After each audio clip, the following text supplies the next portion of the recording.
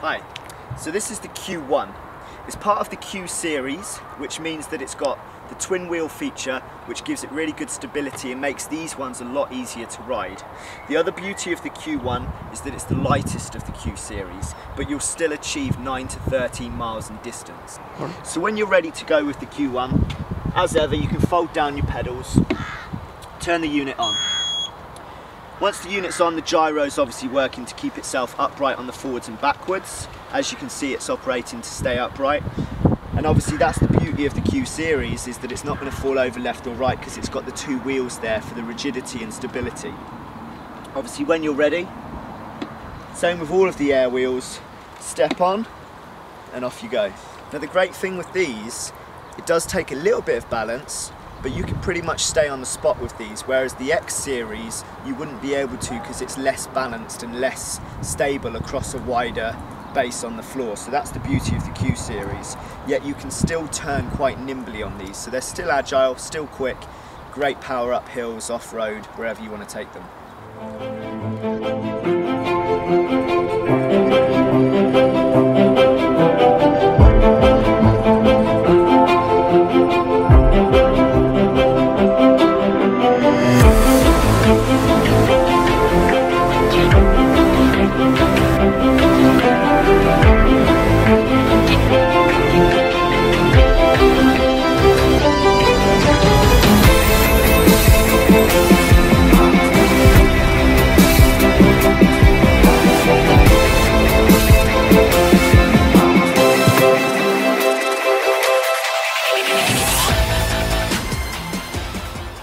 Now the great thing with the Q series in general and particularly with the Q1 where it's a lot lighter than the other models inside the Q series you've still got the benefits of the powerful motor being able to go uphill, off-road, wherever you want to take it.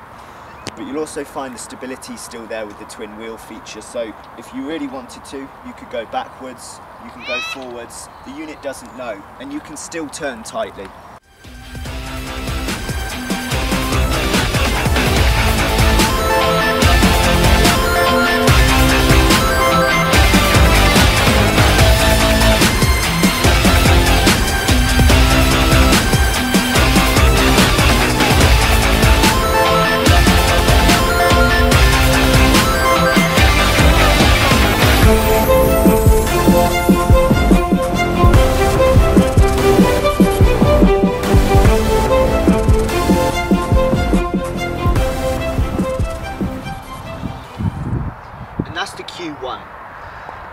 Now there's so many features that I particularly like about this unit. Of course being in the Q series where it's got the stability like we talked about. As with all of the units, they're waterproof so you can ride them in the rain. And it's just an ideal unit for anyone that's looking to get a good bit of distance out of their wheel but isn't looking for the X series and wants something that's slightly easier to ride.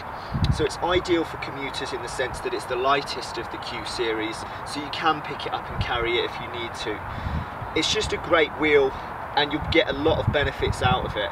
Still very powerful, so as you saw we took it off-road, we're taking it uphill and at no point did I ever feel like the motor was struggling in any way, shape or form. So it's a really great unit and definitely one that I recommend.